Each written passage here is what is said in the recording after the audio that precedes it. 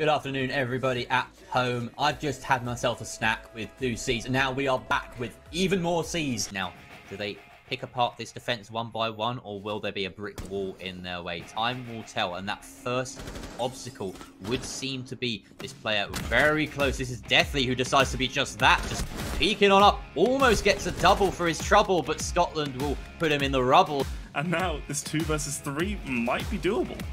Oh, it certainly is if Dats keeps hitting shots like that. They're in a power position with this Monty as well, commanding the site, and giving Dats all the intel he needs. Everyone's fallen back out, but Dats, with Defuser in hand, will be completely exposed and only the cover of a pistol to help him once he starts saying it down. And that's got to be on his mind with only 22 seconds left on the clock.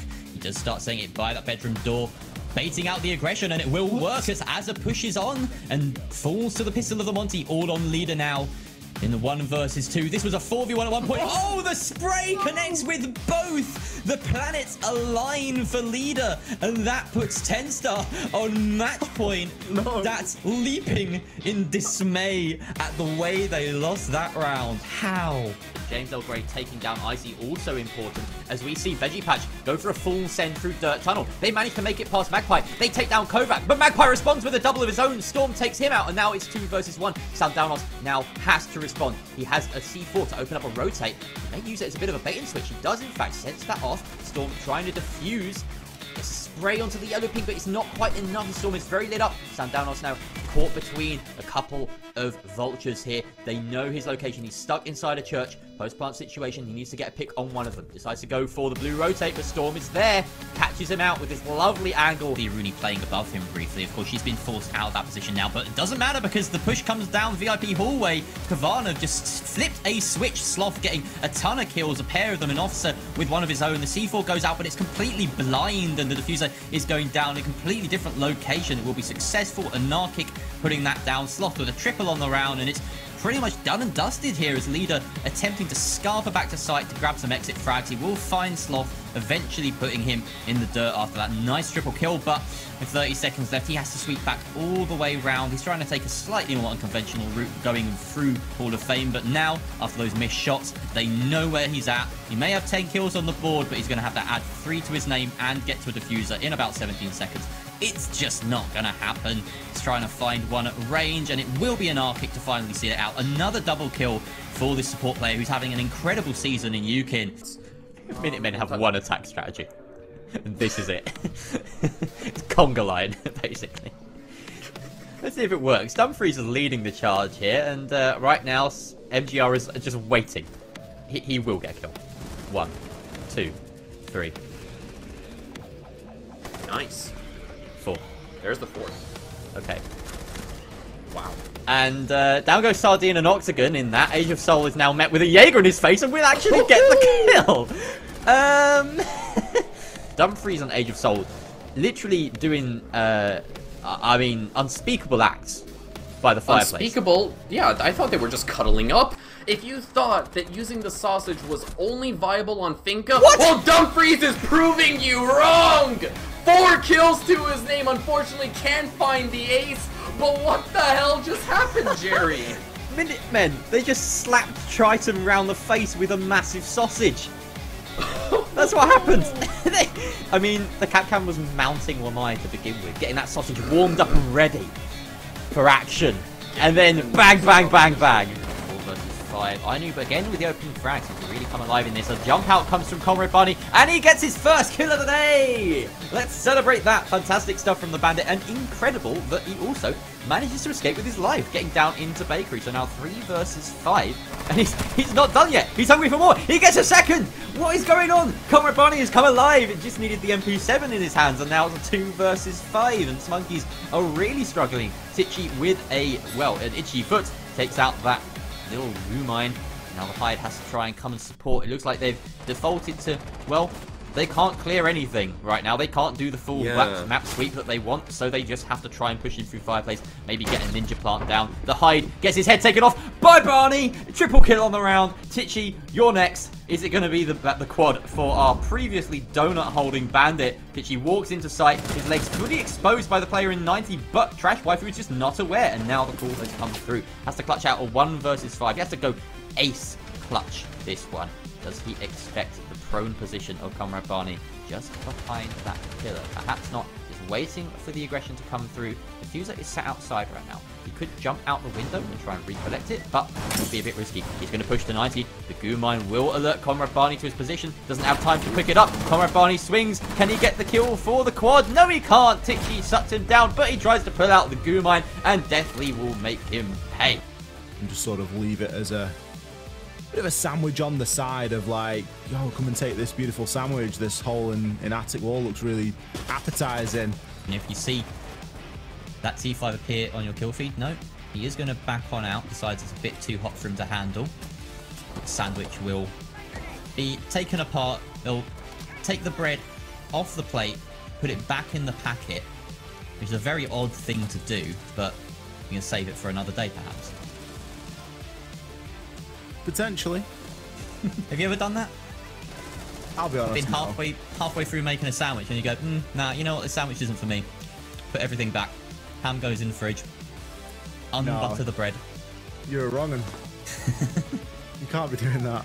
It's important to keep control of tellers, but you don't do it by having people inside it. You do it by having the pulse tell you whether there's a plant going down. And Milo just took his eye off the ball for a moment. I want to focus a little bit actually on JLE themselves because they had some very chaotic defenses, as uh, Grace was pointing out, but there was a lot of structure to their attacks. And I want to have a look at this little replay we put together of round number eight, where they go for a Windows take on the top floor. At this point, we're looking at a four, a three versus four, and Zumi manages to re uh, establish that sort of even man count. And the key thing to notice here, users getting down by the Claymore for the run out. So there's protection for this style of approach. They know now they have that man advantage. They're going to decide to go in for the push and get this plant down. The cover immediately established by Zumi and Blackout, allowing Nerf to try and plant several times, and he's very lucky to get away with his life here, but it does come down to the one versus two, and unfortunately Nello, well, we've seen him clutch out huge in the past, but the setup and the execute from JLE were just too good in that round. But like I said, it was a bit of an anomaly in terms of JLE's overall performance. They were structured on the attacks, but in the end, it went Eminem's way. And Hagra really stepped it up in that round for me, Whippet. I mean, just making Swiss cheese over that wall between the sites and getting so many picks through it. Cash was not a safe environment for these defenders at all. They may have invested a lot of stock in that position, but they did not get any returns, and their money has just fallen out of their pockets. It's burned a big hole in them. in round number 10. We're going to need all 12 rounds for this one, though, I have a feeling. Yeah, I'm, I'm with you on that one, Whippet. It's been so, so close, and they've been really smart, these teams, about trying to counter each other and do exactly what's needed to win these rounds. I mean, something quite beautiful about that round, which you kind of touched on there, was the way that Ghost Killer didn't necessarily take control of the whole of the top floor. They didn't even really take control of Attic. They just had a line of sight towards the hatch, and that was enough. You don't need to necessarily get bodies in there and have someone watching that lower attic door or anything like that. You just need to stop them from peeking the planter, and that's what they did. They had lines of sight to everywhere that Stark could possibly try and challenge onto the planter, and once it was down, they didn't even need to stay in meeting. They just evacuated to these safe spots in tower, even outside tower, and let the plant do the work for them. It was a wonderful take. I love this setup that's coming through from the start. The aggressive hold of Closet with Aruni Gates to protect, and then having the open wall inside of Attic create a horrible three-way crossfire for anyone trying to challenge Akrin in this position. He does get away with a bit of a mistake there as he comes down to only a smidgen of HP. Chili as well with his long crosser fire from tower. They've got everything thought through here. Akrin with a beautiful C4 taking out Expo. Turco takes Hagra, but Sherm responds and refrags his own teammate. No, you can't be doing that. Left in a two versus four now and start and play safe. Madman pushing up White Stairs, though, may be a bit of a pivotal factor here if he gets a cheeky pick, but he is known. Akron holding down Trophy by himself well in the final frag in White Stairs will fall the direction of Team Start. They've managed to catch up with a couple of defenses on the trot here, or to fall the scoreline. Big window push may be what's in order here, unless Ghost Killer can unlock this defense with very keen efficiency. A frag grenade comes out below Hagra, lighting him up quite substantially. That hold being read into very nicely by Ghost Killer, not even necessarily needing to drone it out heavily, just knowing that the Aruni is going to be playing inside that closet as she was last time. Mex will land that second nade onto Hagra, and the Aruni is punished for her positioning. A big fragger as well in the name of Hagra taken down. Chili's position known too. They've completely dismantled this setup as the big tower presence is now lost. Turco claiming that frag for himself. A 5 versus 3 execute is on the cards here. Bomber, Akron, and Arth have to back up. They have to hold very deep. A lot of their utility has been spent essentially because it is invested in that far master bedroom hold. And now it's all about the gun skill. They have to string some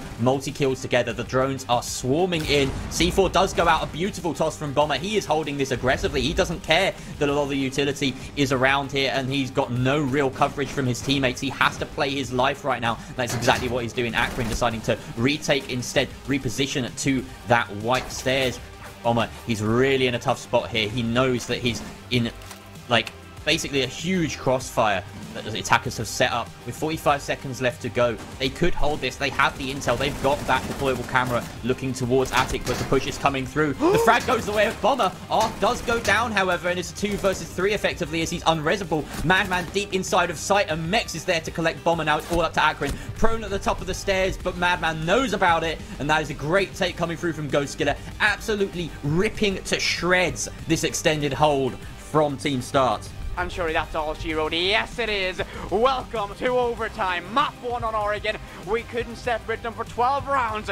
Can we get it done in OT? And welcome to the match, Chile. A huge 3k being the determining factor in that round. So manipulative, so maneuverable. Just worming his way in and out. A great pick there that we see. But look, this was the Chile so show from here on out. Takes out Expo inside of Armory, then meets the Maverick running up to him and grabs the final kill to top it all off with a plum. Excellent play from the Jaeger in that round. And this is not Oregon as we know it, Whippet. This is an exciting version of Oregon. This is huge stuff. This is counterplay. This is sort of unusual strategy. We've got glazes, we've got extended master bedroom holes, we've got fantastic sort of reads of each other's defenses and incredible frag play. We've got blunders, we've got everything, we've got clutches. I'm so excited. I'm over the moon. I'm hyped as hell if you can't tell for this game. Overtime is what we wanted, it's what we expected, and by God have we got it.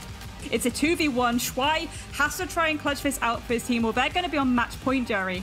He's already grabbed a very tasty double kill in this round, trying to claw things back, but he's still got Neuro and Exile to face down. He's trying to force his way up these red stairs, sent a couple of stuns that way, but instead he's doubled back. Bit of a bait and switch, going to pick up Defuser, trying to clear his way through Garage while their backs are turned, and he does manage to make his way past that elevated angle, so one hurdle surpassed, but with a breach round, with breaching charges in pocket, he can make this entryway that he maybe wants to, but 20 seconds left. Is it worth the effort? He does go for it. Expects to play a top of red. Couple of pre-fires here and there. Doesn't seem like there's any intel for the side of Victus. This is certainly winnable for Shuai. He can do this with nine seconds left. He knows he has to go for the frags. He grabs one in the form of Neuro. Now Exile going beneath to try and deny the plant, but Shuai Again, the plant coming down in an off position, and Exile, he's pushing through. Shuai will land the plant, but he doesn't react quickly Oh, enough. Shuai, Shuai! with the 4K and the 1v2 clutch, keeping Wild alive in this match.